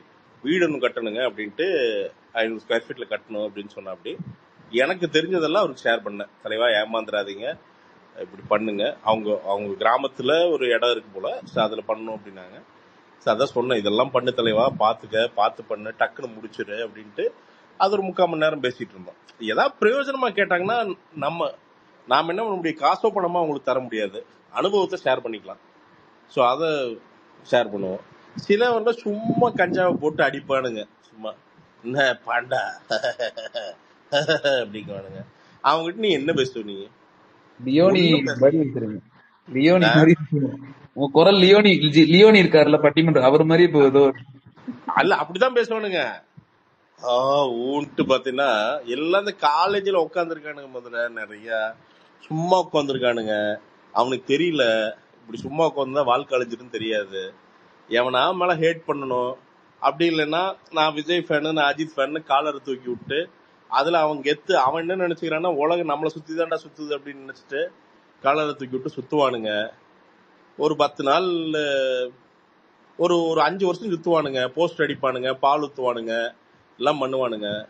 ஒரு இருபத்தெட்டு வயசுல வாழ்க்கை வந்து பட்டக்ஸ்ல ராடு ஏத்துவோம். முப்பது முப்பத்தொன்னுல ராடு பின்னாடி இருந்து வாயில வரும் ராடு அன்னைக்குதான் தெரியும் வாழ்க்கையை மிஸ் பண்ணிட்டோமேடா. ஆஹா நம்ம ஏரியா கெத்து. போஸ்ட் நாம தான் பெருசா அடிச்சோம். நாம தான்டா ஹைட்ல ஏறி பால் ஊத்துனோம். நாம தான்டா பெரிய செலிப்ரேஷன் பண்ணோம். இப்படிலாம் மாஸ் பண்ணோமே அதெல்லாம் எதுவுமே காசா மாறலையே. ஐயோ அப்படின்ட்டு அன்னைக்கு ரியலைஸ் பண்ணுவோம் அன்னைக்கு வாழ்க்கை கையில இருந்து போயிடும் அந்த வாழ்க்கையை சரி பண்றதுக்கு அவனுக்கு ஐம்பது வயசு ஆயிரும். அவ்வளவுதான். நிறைய பேர் நான் கண்ணு முன்னாடி பார்த்துட்டேன். தெளிவா இருக்கிறவன் எல்லாருமே ஹீரோவை ஹீரோவை பார்த்து போனானா படத்துக்கு போனானா ஃபன் பண்ணானா வெளில வந்தானா அடுத்த வேலை அவ்வளவுதான். அவன் வேலை என்ன அதை ஷார்ப் பண்ணிட்டு ஃபோக்கஸ் பண்ணிட்டு போயிட்டே இருக்கானு. எவன் எல்லாம் இந்த இருபது டு முப்பது வயசு ஷார்ப்பா இருந்தானா அவன் எல்லாம் தப்பிச்சிட்டானுங்க. அழகா மேல போயிட்டானுங்க. இல்லன்னா இட் இஸ் பிரசாந்த் தான். செருப்பட்டி வாங்கு. முப்பத்தொன்பது வயசு. இன்னைக்கு உங்களுக்கு உங்களுக்கு என்னண்ணா நீங்களும் நல்லா மாறா தானே போயிட்டு அது இருக்கீங்க அப்புறம் என்ன? கொடுத்த வேலை பெருசு மாறா. என்னன்னா அது கொடுத்த வேலை பெருசு நண்பா நல்லாங்கிறது உன் பார்வையில நண்பா. என் லைஃப் என்ன சதஞ்சதுன்னு எனக்கு தான் தெரியும் நண்பா. நான் என்ன வந்து மீட் எடுக்கிறதுக்கு இன்னைக்கும் ட்ரை பண்ணிட்டு இருக்கேன் மாறா. இதுதான் உண்மை. இன்னைக்குமே எனக்கு பெராலிசிஸ் வந்துடுது பெராலிசிஸ்னா அந்த அந்த கண்டிஷன் உள்ள இருக்கிறங்காட்டிக்கு சில டைம் என்னன்னா பெரலைஸ் ஆகி பெரலைஸ்னு அப்படின்னா என்னால் அடுத்த காரியம் பண்ண முடியாது. சில டைம் ஸ்டக் ஆயிடுவேன் அது ஏன்னு தெரியாது. அதெல்லாம் நானே என்னை வந்து ச- சண்டை போட்டு மீட்டுட்டு இருக்கிறேன் நான். அதுதான் நடக்குது. நான் அதான் சொல்றேன் நிறைய ஷேர் பண்ண முடியாது. கண்டிப்பா ஷேர் பண்ணா பயந்துருவீங்க நீங்க. ஸோ அது நடந்துட்டு இருக்குது. அதெல்லாம் என்னன்னா உண்மையா நான் எங்க கூட போராடிட்டு இருக்கேன். அதுதான் உண்மை. என் கூட போராடி போராடி எங்க எனக்குள்ள இருக்கிற கெட்டவனை மெதுவா மெதுவா அழைச்சு நல்லது நல்லது பண்றதுக்கு அஹ் வாடா வா இது பண்ணு. டே வாடா. என்- எனக்குள்ள இன்னொருத்தன் இருக்கான். அவனை தூங்க வைக்கணும். அவன் ஒரு சோம்பேறி. அவன் என்னன்னா எதுவுமே பண்ண மாட்டான். அவன் லைஃப்ல வந்து பாத்தீங்கன்னா அவனுக்கு பெரிய எய்மே கிடையாது. அவனை அப்பப்ப சாவடிக்கணும் அவனை. அவனை அப்பப்ப கண்ட்ரோல் பண்ணி உட்கார வைக்கணும் உள்ள. உட்கார வச்சு இந்த நல்லவனை வந்து இந்த இப்ப பேசி பேசிட்டு இருக்கான் பாரு. அவனை அவனை முன்னாடி கொண்டு போகணும். அவனை முன்னாடி கொண்டு போய் ஏன்னா இவன் தான் சாதி இவன் தான் சாதிப்பான். இவன் தான் காரியங்கள்லாம் பண்ணுவான். ஸோ இவனை என்கரேஜ் பண்ணி பண்ணி அவனை ஆஃப் பண்ணி பண்ணி அப்படி இவனு ரெண்டு பேர்த்துக்கான பஞ்சாயத்தை உள்ள தீர்த்துக்கணும். இது நிறைய பேர்த்துக்குள்ள இருக்கு. நான் நான் எனக்காண்டி மட்டும் சொல்ல நான். நமக்குள்ள இருக்கிற அந்த ஆள் அந்த சோம்பேறி இருக்கான் பாருங்க. அவனை மட்டும் செருப்ப கழட்டி அடிச்சிருங்க. உக்காடுற நாயே அப்படின்னு அடிச்சிருங்க. அது அதை மட்டும் நீங்க அவனை விட்டுட்டீங்க. அவன் என்ன சொல்லுவான்? அவன் எப்பவுமே என்ன சொல்லுவான்? சாப்பிட்றா படுறா ஏய் ஜாலியா இருறா அப்படிங்குவான். என்னடா ஜாலியா இருடா தம்ம போடு சரக்கு போடு மச்சான். டயர்டா இருக்கு மச்சான் அதெல்லாம் கிடையாது. டேவிட் காகின்ஸ்னு ஒரு ஆள் இருக்கார். உங்களுக்கு எல்லாத்துக்கும் தெரிஞ்சிருக்கும்னு நினைக்கிறேன். தெரியலன்னா அவரோட பாட்காஸ்ட் இருக்கும். ஒரு ஒரு பாட்காஸ்டாவே அவர் எனக்கு தெரிஞ்ச ஈஸியா ஒரு பத்து மணி நேரம் பேசியிருப்பார் ஈஸியா ஏதாவது வாழ்க்கையில முடியல அப்படின்னா அவரோட பாட்காஸ்ட சப்டைட்டிலோட இங்கிலீஷ் புரியல சப்டைட்டில போட்டு ஹெட்ஃபோன்ல போட்டு உட்காருது அந்த ஏன் அதை பண்ணா அப்படிங்கிறதுக்கு ஒன்று சொல்லுவான். அவனோட ஒரு பர்சன்ட் நீங்க எடுத்துட்டீங்கன்னா முடிஞ்சதுங்க லைஃப் மாறிடும். இந்த இந்த இந்த மாசமா என்னமோ பதினாறாயிரம் புஷ்அப்போ புல்லப்போ ஏதோ பண்றதுக்கு டார்கெட் போட்டிருக்கிறான் இப்ப இதெல்லாம் என்னன்னா எது கிடையாது பைத்தியக்கார நடவன் அப்படின்னு பார்த்தா ஒண்ணும் கிடையாது. அந்த மென்டல் பேரியரை உடைச்சிட்டே இருக்கான் அவன் மேல போயிட்டே இருக்கான். நீங்க ஒன்ஸ் அது நடக்க ஆரம்பிச்சுன்னா பணம் ஒண்ணுமே இல்லைங்கிறவன் நாம வந்து நம்ம ஆளுகளா எனர்ஜியா வீக்கா உள்ள உட்காந்துருக்கிறோம் நம்ம. அதான் நம்மளை போற வர்றவன்லாம் அடிமையாக்கிடுறான். இந்த சிஸ்டத்துக்குள்ள கொண்டு போய் நம்மளை மிதி மிதின்னு மிதிச்சிடுறான். நம்மளுக்கு மென்டலாவும் கான்பிடன்ஸ் கிடையாது. பிசிக்கலாவும் கான்பிடன்ஸ் கிடையாது. எனக்கு நான் மற்றவங்கள சொல்ல பிசிக்கலா சூப்பரா இருக்கீங்கன்னா உங்களுக்கு எல்லாம் ஹேட்ஸ் ஆஃப் உண்மையாலுமே. ஒரு எழுபது எழுபத்தஞ்சு கிலோக்குள்ள வெயிட் வச்சிருக்கீங்கன்னா ஹேட்ஸ் ஆஃப் உங்களுக்கு எல்லாத்துக்குமே. சூப்பர் அதை இன்னும் டைட் பண்ணுங்க சம பண்ணுங்க. இந்த குண்டானவனுக்கு பூரா கொஞ்சம் கொஞ்சமா கம்மி பண்ணுங்கடா. டேய் நம்ம குரூப்பு நம்ம குரூப் எல்லாம் அந்த நூறு கிலோவுக்கு மேல குரூப் எல்லாம். என்ன? எப்ப பார்த்தாலும் தொப்பையை தடவிட்டு படுத்துக்காதீங்கடா. தயவு செய்து சொல்றேன். அது நூறு நூத்தஞ்சாகும் நூத்தஞ்சு நூத்தி பத்தாகும் நூத்தி இருபது ஆகும் நூத்தி இருபது வரைக்கும் தான் கண்ட்ரோல்ல இருக்கும். அதுக்கப்புறம் கண்ட்ரோல் பண்ண முடியாது. அப்புறம் கீழே கொண்டு வர்றதுக்கு மைண்ட் இடம் கொடுக்காது. இடம் கொடுக்காது. அது அது வந்து வாழ்க்கை போராட்டம் போயிரும் வாழ்க்கை போராட்டம் போயிரும் அதனால ஆனா இத்தனை நாளா இப்படி எல்லாம் ஒரு ஃபயரான ஸ்பீச்சே கொடுக்க மாட்டேங்க. என்ன நான் வந்ததுல இருந்து அப்படியே ஃபயர் மேல ஃபயரா அப்படியே கக்குறீங்க. அப்படி இல்ல மாறா அது இல்ல. அது இல்ல மாறா. என்னன்னா நம்மளோட என்னோட பொறுப்பு உணர்ந்து நான் பேசுறேன் மாறா. என்னன்னா என் பொறுப்புங்கிறது என்னன்னா சும்மா இங்க என்டர்டைன் பண்றது அது மட்டும் இல்ல. என்ன நம்பி நிறைய பேர் கேக்குறீங்க கொஞ்சம் டிரான்ஸ்ஃபார்ம் பண்ணி விட்டுறலாம். டிரான்ஸ்ஃபார்ம் பண்ணி விட்டுறலாம். நான் நான் நம்மளோட சேர்த்து நம்ம ஒரு ஒரு ஒரு ஆயிரம் பேர்த்தையாவது மாத்தி விடுவோம். நம்ம இருக்கிறதெல்லாம் நம்ம இருக்கிற தப்ப நாம என்ன தப்பு பண்ணியிருக்கிறோம்னு சொல்லுவோம். அதை சொல்லுவோம். ஏன்னா எல்லாருமே எப்படின்னா பிரசாந்த் செலிபிரிட்டி அவர் யூடியூப் ரிவ்யூவர் அப்படின்னா பெர்ஃபெக்டா இருப்பாரு. மயிர்ல தான் இருக்கிறோம். ஒன்றும் கிடையாது. அதான் உண்மை. என்னோட ஃபிளாஸ் எல்லாம் நீங்க தெரிஞ்சுக்கங்க. அப்பதான் என்னன்னா இதெல்லாம் பண்ணிடக்கூடாது உங்களுக்கு தெரியுங்க. எல்லாம் இழந்து இழந்து பிடிக்க வேண்டியதா இருக்குதுங்க. அவ்வளோ அவ்வளவு அவ்வளவு இன்செக்யூரிட்டிஸ் உள்ள ஓடும். நானே தட்டி தட்டி தட்டி தட்டி சரி பண்ணி சரி பண்ணி முன்னாடி போறேன் நான். அது விட்டுறாதீங்க அந்த ஃபயரை மட்டும் விட்டுறாதீங்க ஜெயிச்சிருங்க நீங்க எவங்கிட்டயும் பேசாதீங்க உங்க சக்சஸ் பேச வைக்கீங்க ஜெயிச்சு உட்காருங்க இப்போ அந்த வீடெல்லாம் கட்டுறேன்னு வச்சுங்களேன் இப்போ இப்போ இந்த வீடு அம்மா அப்பாக்காண்டி க- பண்ற கட்டுற வீடெல்லாம் இது என்னன்னா இது வந்து அது பில்டிங் அதெல்லாம் இல்லை எனக்கு. மேட்ரு என்ன தெரியுமா? கட்டி நிற்கும் போது அப்பா அம்மாவுக்கு ஒரு அமைதி வரும். அதுக்கு நான் செத்துட்டு போறேன். அதை பத்தி எனக்கு கவலை கிடையாது. அது தினமும் சாவுதான். வார வாரம் உட்காந்து சம்பளம் கொடுக்கறதுக்குள்ள பட்டக்ஸில் ரத்தம் வந்துருது. அது வேற. ஆனால் அவங்க ரெண்டு பேர்த்த ஒரு மரியாதையை உட்கார வைக்குதுங்க. ஓடி போய் ஒரு- ஒரு கார் இருந்தது இப்ப ரெண்டாவது கார் இப்போ ஒரு வருஷமா இருக்குன்னு வச்சுங்களேன் எனக்கு தெரிஞ்சு எங்க பரம்பரையிலேயே ரெண்டு கார் சொந்தமா வச்சிருக்கிறது நாங்க தான் நினைக்கிறேன் எனக்கு தெரிஞ்சு. எதுக்கு ரெண்டாவது கார்னா அவங்களுக்கு போயிட்டு வர்றதுக்கு டக்குன்னு போறதுக்கு கா அம்மாவுக்கு வந்து அம்மா ஒரு தடவை பஸ்ல ஏறி கீழே விழுந்துருச்சு. ஹைட் கம்மி அம்மா அவன் டக்குன்னு எடுத்துட்டான் கீழே விழுந்துருச்சு அம்மா. என்கிட்ட சொல்லவே இல்லை. அப்புறம் ஒ- ஒரு வாரம் ஒன்றரை வாரம் கழிச்சு வந்து அப்புறம் அரசல் புரசல் நியூஸ் வருது. என்னம்மாண்ணா இப்படின்னுச்சு. அப்ப யோசிச்சேன் மயிறு பேரண்ட்ஸுக்கு என்ன மயிறு? அவங்க இவ்வளவு சிரமப்படுறாங்க. என்னடா நீ சாவிட. ஒரு கார் கூட கொடுக்கலன்னா என்னடா மயிறு நீ பையன்? அவ்வளவுதான் மனசுல அன்னைக்கு தோணுச்சு. கொடு என்னம்மா இந்த ரேபிட பிடி நான் புதுசு வாங்கிக்கிறேன். இருபத்தஞ்சாயிரம் ரூபாய் டியூ ஜாஸ்தி தான் அதுக்கு சாக வேண்டியதா இருக்குதுதான். அதுக்கு இன்னும் இன்னும் வந்து ஒரு ஐம்பது பேர் கார் ஏறி துப்புறான் தான் I don't care I don't care நான் இன்னைக்கு வேணும்னா ஒரு ஆளை கூப்பிட்டாங்கன்னா ஐநூறுரூவா ஒரு டிரைவருக்கு கொடுத்தாங்கன்னா அவங்க போயிட்டு வந்துடுறாங்க. சாவுடா அதுக்கு சாவு. ஒருத்தன் தியாகம் பண்ணு. ஒரு ஊர் நல்லா இருக்குன்னா ஒரு வீதி தியாகம் பண்ணுவான். ஒரு நாடு நல்லா இருக்குன்னா ஒரு செக்ஷன் யாரோ ஒருத்தன் ஒரு ஒரு பார்ட் ஆஃப் மக்கள் கஷ்டப்படுறான். என்ன? ஒரு குடும்பம் நல்லா இருக்குன்னா ஒருத்தன் தியாகம் பண்ணியே தான் ஆகணும். அதெல்லாம் இல்லாமலாம் ஒரு ஒரு குடும்பம் குடும்பம் நல்லாவே இருக்காது. எல்லாருமே ஜாலியா படுத்துட்டுலாம் இருக்கிறதுக்கெல்லாம் அதுக்கு உங்களுக்கு அஞ்சு பரம்பரையா சொத்து வேணும். தான் இன்னைக்கு போறாங்க. ஜாலியா ஒரு கார்ல போறாங்க. இந்த வீடு அந்த வீடு எதுக்கு இவ்வளவு மெனக்கட்டு உட்காந்து அந்த வீட்டை கட்ட வேண்டிய அவசியம் இல்லை. எனக்கு வீட்டு மேல எந்த அட்டாச்மெண்ட்டும் கிடையாதுங்க. எனக்கு சிங்கிள் ரூம் கொடுத்தீங்கன்னா போதும் ஜாலியா இருந்துக்குவேன் நான். கட்டுறதுக்கு காரணம் என்ன? அப்பா அம்மா ஹார்ட்ஃபுல்லாக மனசா ஹாப்பியா இருப்பாங்க. தங்கச்சி ஹாப்பியா இருக்கும். அவங்களுக்கு ஒரு மரியாதை வரும். அவ்வளவுதான். அதுக்கு தான் இந்த வீடு. வேற ஒன்றும் கிடையாது. அதுக்கு ஃபைட் பண்ணி தான் ஆகணுங்க. அது அப்படிதாங்க இருக்கும். இந்த மெட்ராஸ் தகுதியில வர்றவன் போறவன் எல்லாம் பாண்டா குண்டா நாய அப்படின்னு தூக்கி துப்புவான் மூஞ்சில. தொடச்சிக்க அவன் அசிங்கப்பட தொடச்சிக்க போ முன்னாடி போ பரவாயில்ல போ. பரவாயில்ல போடா. உன் நோக்கம் அதை விட பெருசுடா. போ. யார துப்புல? இங்க எவன துப்புல? யாரடா விட்டு வச்சிருக்கானுங்க? இந்த உலகம் எவனை விட்டு வச்சது?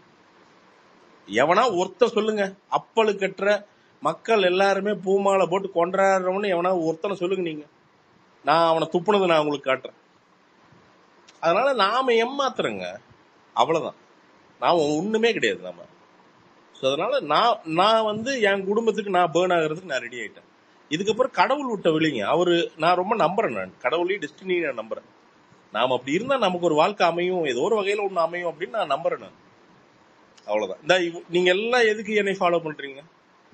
எதுக்கு? எங்கிட்ட வந்து நான் வீடு கட்டிட்டேன். பிரசாத் சார் வந்து ஸ்கோடா ரேபிட் வச்சிருக்காரு. அதனால ஃபாலோ பண்ண அது கிடையாது.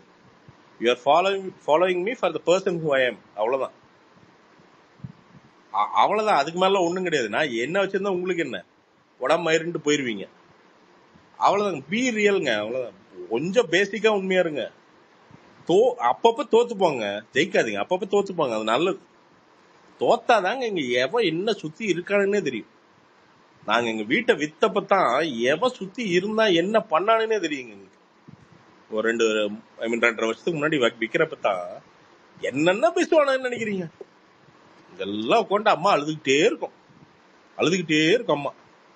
ஒரு நாள் போனேன் போயிட்டு நேரா அம்மா இது கூப்பிட்டு போனேன். கிரெடிட் கார்டு எடுத்தேன். மா டைனிங் டேபிள் என்ன வேணுமோ வாங்குமா அப்படின்னா எதுக்குடா டைனிங் டேபிள்னா புது வீடு கட்டுறோம் அந்த வீட்ல போடுறதுக்கு ஒரு டைனிங் டேபிள் போய் வாங்க அப்படின்னா என்னடா சொல்றேன்னு. கண்டிப்பா கட்டுறோம் நீ வாங்க தைரியமா. பெரிய டைனிங் டேபிளா வாங்கு. ஏன்னா வந்து டைனிங் ஹால் பெருசா தான் இருக்கும் அப்படின்னு சொல்லி வாங்கினேன். வாங்கினேன். என்ன வேணுமோ வாங்கணும். ஒரு ஒரு ஒன்னே கால் லட்சம் ரூபாய்க்கு வாங்கிச்சம்மா எல்லாம். என்ன வேணுமோ பெட்டு வாங்கு. அந்த ஒன்னே கால் லட்சம் ரூபாய்க்கு காசு இல்லைங்க. எங்க அம்மாவுக்கு அன்னி அங்கிருந்து ஒரு ஒரு மாசம் ஒரு சின்ன சந்தோஷம். ஆ பையன் கான்பிடண்டா சொல்றான். இதெல்லாம் வாங்கிட்டு வந்த வேற வச்சுட்டான். அப்ப வீடு கட்டிடுவோம் அப்படின்னு ஒரு கான்பிடன்ஸ் அம்மாக்கு அதுக்கெல்லாம் நீங்க என்ன சொன்னாலும் புரியாதுங்க. வீடெல்லாம் வந்து ஒண்ணும் இல்லம்மா அப்படின்லாம் சொன்னா புரியாதுங்க. ஏன்னா எங்க ஊர்ல அங்க சுத்தி இருக்கிறதெல்லாம் என்னன்னா அவங்க வீட்டோட இருபது வருஷமா இருந்தவங்க. இல்லாதங்கிறது அவங்களால டைஜஸ்டே பண்ண முடியல. அப்ப நான் அவங்கள என்ன சொல்லி என்னால வந்து ஆறுதல் கூட சொல்லவே முடியல. அவங்களுக்கான ஒரே ஆறுதல் இன்னொன்னு கட்டிடலாம் அப்படின்னு சொன்னப்ப தான் ஆறுதல் ஆகுறாங்க. கட்டு வித்தோம் கடன் அடைச்சோம் கொஞ்சம் காசு இருந்தது யோசிக்கவே இல்லை. நாலாவது கிளம்பியாது இந்த வாசத்துக்கு ஒரு நாள் பாருங்கண்ணா. சரி பாருங்கடா அப்படின்ட்டு அதை மட்டும் பார்த்தோம். கட்டு அவ்வளவுதான். சர சரன்னு பாலை ஊத்தி பந்த இது- இதை பிடிச்சி பாலக்காலை பிடிச்சி சரன்னு முன்னாடி போயாச்சுங்க. தான் நீங்க முடிய போகுது. அவ்வளவுதான் பிரதர் இதுலதான் இப்படி இப்படிதான் குடும்பங்கள் சரியாகுங்க. நாம நினைச்சாதாங்க அதுல ஒருத்தன் நினைக்கணுங்க. யாரா ஒருத்தன் அந்த குடும்பத்துல ஒருத்தன் நினைக்கணுங்க. அந்த பாவர்ட்டி செயினை அந்த சஃபரிங்க ஒட்டைக்கிறதுக்கு ஒருத்தன் முன்னாடி நிக்கணுங்க. நான் செத்தா சாவறேன் என் குடும்பம் நல்லா இருக்கும்னு நிக்கணுங்க முன்னாடி. அன்னை- அப்படி நிக்கிறங்காட்டி தான் இந்தியா. இன்னைக்கு இங்கிருந்து ஒவ்வொரு குடும்பத்துல இருந்து ராணுவ வீரர் ஒருத்தன் ஏதோ ஒரு காஷ்மீர்ல எங்கேயோ சியாச்சன் கிளேசியர்ல எங்கேயோ உட்காந்துருக்கிறான் யாருக்கு உட்கார்றான் அட நம்ம குடும்பம்டா இந்தியா. செத்தா சாவரம் என் நாடு நல்லா இருக்குன்னு நிக்கிறான் பாருங்க. எல்லாரும் செல்பிஷா இருந்தா அங்க நிக்கிறதுக்கு ஆள் இங்க. எவன் அங்க நிப்பான்? எத்தனை காசு கொடுத்தாலும் நான் போய் நிப்போமா சியாச்சன் கிளேசியர்ல? அஹ்? செத்து போயிருந்துங்களாம் சியாச்சன் கிளேசியர்ல இருந்தவர்கிட்ட பேசியிருக்க அந்த அந்த ஏரியா அந்த லடாக் அங்கெல்லாம் அங்க ஒரு அவர் மிலிட்ரி நாங்க வந்து அவர்கிட்ட தான் சரக்கு வாங்குவோம் இப்பெல்லாம் அது சொல்றது பத்து வருஷத்துக்கு முன்னாடி. அவர் தான் எனக்கு சரக்கு வாங்கி கொடுப்பாரு. கொஞ்சம் சீப்பா வாங்கி தருவார். ஏன்னா அந்த மிலிட்ரி கார்டு இருக்கிறங்காட்டிக்கு அந்த அதாவது அங்க போய் வெறும் ஒரு ரூபா ரெண்டு ரூபாய்க்கு வந்து சரக்கு விற்பாங்களாம் அதை வாங்குறக்கே ஆள் இருக்காதான். ஏன்னா அங்க குடிக்கவும் முடியாதான். அந்த குளிர்ல ஒண்ணுமே பண்ண முடியாதான். அதுல நின்று நாட்டை காப்பாத்தி இன்னைக்கு நம்மள எல்லாம் நாம எல்லாம் இங்க எல்லாம் படுத்துக்கிட்டு இன்டர்நெட்டோட உட்காந்துட்டு ஜாலியா ஃபன் பண்றதுக்கு என்ன காரணம்? இந்த ராணுவ கட்டமைப்பு தான் காரணம். அதுக்கு எத்தனை பேர் உயிர் தியாகம் பண்ணிட்டு உசுர கையில புடிச்சிட்டு உட்காந்துருக்கானுங்க எவன் என்னைக்கு தலையில ஓடுவான்னு தெரியாது. அப்ப அதோட ஏதோ ஒரு ஒரு ஃபார்ம் நமக்குள்ளே இருக்கணுங்க. அந்த ஃபயர் நமக்குள்ளே இருக்கணுங்க. நம்ம குடும்பத்தை காப்பாத்துறதுல இருக்கணும். என்ன ஆனாலும் சரிங்க. ஒரே விஷயம் தான் சொல்றேங்க. என்ன பொண்டாட்டி வரட்டும் என்ன புள்ள வரட்டுங்க. எவ்வளவுதான் நீங்க மோசமா அப்பா அம்மா உங்களை ட்ரீட் பண்ணாலும் சரி அப்பா அம்மாவை மட்டும் கை விட்டுறாதீங்க. இதை நான் வந்து அனுபவத்துல சொல்றேன் நான். அவங்களுக்கு இது முத வாழ்க்கைங்க. அவங்க பெரிய ஞானிகள் கிடையாது உங்க அப்பா அம்மா எல்லாம் அவங்க ஒன்றும் பத்து வாழ்க்கை வாழலைங்க. எல்லா தப்பி செஞ்சு எல்லா தப்பெல்லாம் தெரிஞ்சு உங்களுக்கு நல்லது மட்டுமே செய்யறதுக்கு. நம்மள மாதிரியே அவங்களும் தப்பு பண்ணுவாங்க. மன்னிச்சு ஏத்து ஆனா அது அவங்க அப்பா அம்மா. நீங்க கேட்டா உங்களுக்கு உசுர கொடுக்கிற ஒரே ஆளு உங்க அப்பா அம்மா மட்டும்தான். கொரோனா எனக்கு வந்துருச்சு. எங்க அம்மா கூட வந்துச்சு. எங்க அம்மா எல்லாம் வயசு இன்னும். நடக்கிறதுக்கே சிரமப்படுது இப்பெல்லாம். நான் நான் சொ- சொல்றேன். அம்மா தயவு செய்து வராதம்மா. நீ கம்முன்னு எங்கேயே இருமா அப்படின்னு. சாமி செத்தா செத்துட்டு போறோம் சாமி. உன்னை மீறி எங்களுக்கு என்ன இருக்குது? இவ்வளவுதான். அவ்வளவுதான் மேட்ரு அது எங்க கூடயே தான் இருந்து நான் போய் வலுக்கட்டாயமா ஹாஸ்பி- டாக்டர் கிட்ட சொல்லி தயவு செய்து அனுப்பிச்சு வச்சிருங்க. எனக்கு ஒண்ணும் இல்லைங்க அப்படின்னு சொல்லி அனுப்பிச்சு வச்சேன். ஆனா கூடவே தான் அதுதான் அப்பா அம்மா. எக்ஸப்ஷன் இருக்குங்க. மேபி ஏதாவது ஒரு பர்சன்ட் ரெண்டு பர்சன்ட் வந்து பாத்தீங்கன்னா சில தவறுகள் செய்வேன். எங்க அப்பாவே சில டைம் கடுப்பை கலப்புவாரு. சரக போட்டு கடுப்பை கலப்புவாரு. பட் ஓவரால் அவர் எடுத்து அவர் வந்த பாதையை பார்த்தா வெறும் மூணாவது நாளாவது படிச்சுட்டு என்னை இந்த அளவுக்கு படிக்க வச்சு இந்த அளவுக்கு ஆளாக்கி இந்த அளவுக்கு மேல தூக்கி கொண்டு வந்திருக்காரு. அப்ப அவரோட சின்ன தப்பை நான் மதிய நான் மன்னிக்கவே கூடாதா? நானும் தான் தப்பு பண்ணியிருக்கேன். பன்னெண்டாவதுல ஓடி போயிருக்கேன். என்னால பெரிய ரேங்க் வாங்கன்னு நினைச்சாரு. ஓடி போனேன். குடும்பத்துக்கு அவமானம் தான் இப்ப அதையெல்லாம் அவர் தங்கிட்டார்ல. அப்ப அவர் பண்ற சின்ன சின்ன தப்புகள் நான் தாங்க முடியாதா? செத்துருவேனா நானு அந்த மெச்சூரிட்டி வந்துருங்க. உங்களுக்கு அந்த முப்பத்தி அஞ்சுக்கு மேல அந்த மெச்சூரிட்டி வந்துரும். அது வரைக்கும் கொஞ்சம் பொறுமையா இருங்க. இந்த சினிமாவை பார்த்து பக்கத்து வீட்டுக்காரன் சொல்றது பார்த்தெல்லாம் அப்பா அம்மாவை எடை போட்டுறாதீங்க. உங்களுக்கு உசுர கொடுக்குற ஒரே ஆட்கள் அப்பா அம்மா மட்டும்தான். வேற எவனும் புடுங்க மாட்டான். சித்தப்ப பெரியப்ப அந்தப்ப இந்தப்ப இவனுங்க எல்லாம் வெறும் வாயில வடை சுடுவானுங்க. மேபி லக்கிலி அதுலயும் எக்ஸப்ஷன்ஸ் இருக்கிறாங்க. சிலவங்க எல்லாம் பெரியப்பாவே அப்பா மாதிரி பாத்துக்கிறதும் சித்தப்பாவே அப்பா மாதிரி பாத்துக்கிறதும் அப்படியும் குடும்பங்கள் இருக்கு.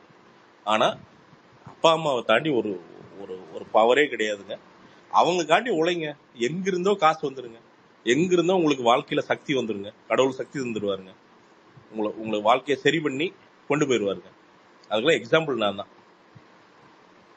நான் தான் அதுக்கு பெரிய எடுத்துக்காட்டு. நான் பெரிய அறிவாளி அதெல்லாம் ஒண்ணும் கிடையாதுங்க. பட் இன்டென்ஷன் இவ்வளவுதான். அந்த இன்டென்ஷனுக்கு ஏதோ ஒரு வகையில நீங்களும் சரி எல்லாரும் சரி ஹெல்ப் பண்றீங்க. அவ்வளவுதான். நல்லா ஆல்ரெடி சொல்லிருக்கீங்க அதெல்லாம். பட் ஆனா நீங்க உங்க அம்மா அப்பாவுக்கு இவ்வளவு சொல்றீங்க நீங்க அது உங்க உடம்ப பாத்துக்கணும். கொஞ்சம் உடம்பு உடம்பையும் கரெக்டான ஏப்ரல் மாசம் ஞாபகம் இருக்கா? நீ ரிமைண்ட் பண்றேன் ஏப்ரல் ஏதோ பர்த்டே அப்போ ஏப்ரல் பர்த்டே நான் வந்து I should be below hundred kilos அதான் ஐடியா ஸோ அது வந்து அதுக்கு முன்னாடியே அப்புறம் வந்துரும்னு நினைக்கிறேன். அப்புறம் ஒரு விஷயம். ஒரு விஷயம் இந்த டெய்லி வீலாக்ஸ் இந்த பாட்காஸ்ட் என்னாச்சு? நண்பா அது ஒண்ணு இல்ல நண்பா. அது பண்றதா? ஒரு டீம் சரியா அமைய மாட்டேது மாறா. அதுதான் பிரச்சனை. பையன் கிறிஸ்டபர்னு இருக்கான். கேட்டிருந்தானா அவனுக்கு சொல்லணும் கிறிஸ்டவர்கிட்ட அவன் அந்த கொஞ்சம் கல்யாண வெட்டிங் இதுல பிஸியா இருக்கான். வந்துருவான். ஒரு ரெண்டு பசங்களை போடுறோம் மாறா. அதுக்குன்னே போடுறோம். போட்டுட்டு ஹண்ட்ரட் பர்சன்ட் அது வருது வருது. பண்ண பண்ணதான் போறோம். பண்ணதான் போறோம். பண்ணதான் போறோம். அதுக்கப்புறம் ஒரு கொஸ்டின் சொன்னாரு. ஆக்சுவலா நீங்க இந்த ரெண்டாயிரம் டன்னு நெய் நெய் வந்து பண்றது வந்து பாசிபிள்னு சொல்லி போட்டிருந்தீங்களாம் தெலுங்கானால. பட் கார்த்தியன் வந்து அது முடியாது. அதெல்லாம் வாய்ப்பே இல்லை அப்படின்னாராம். அது என்ன அது பாயிண்ட் அதை சொல்லுங்க எலாபரேட் பண்ணுங்க அப்படின்னாரு. இப்படி பார்த்தா பாயிண்ட்னா அப்புறம் ஐயாயிரம் டன் நெய் நம்ம கிட்ட இருந்தானே ப்ரொக்யூர் பண்ணிட்டு இருந்திருக்கானுங்க அது பாசிபிள்னா அது எங்க இருந்து டன் நெய் வந்து பாசிபிள் அப்படின்னா அது எங்க இருந்து வருது? விவசாயிகிட்ட இருந்தா வருது. இப்ப அதே மாதிரி அங்க இருக்கிற விவசாயிகள் நினைச்சாங்கன்னா அந்த நெய்யை வந்து தாராளமா அவங்களால தர முடியும். பாசிபிள் தான். அதெல்லாம் இம்பாசிபிள்னா ஒண்ணும் கிடையாது. அதெல்லாம் ஒண்ணும் கிடையாது. அங்கங்க அந்தந்த ஸ்டேட்ல பக்தியில உண்மையாலுமே பெருமாளை சேவிக்கிறவங்க கிட்ட அந்த பொறுப்பை விட்டு விவசாயி கிட்ட அவங்க கிட்ட இருந்து வாங்கினா ரொம்ப ஈஸியா வாங்கி போடலாமே.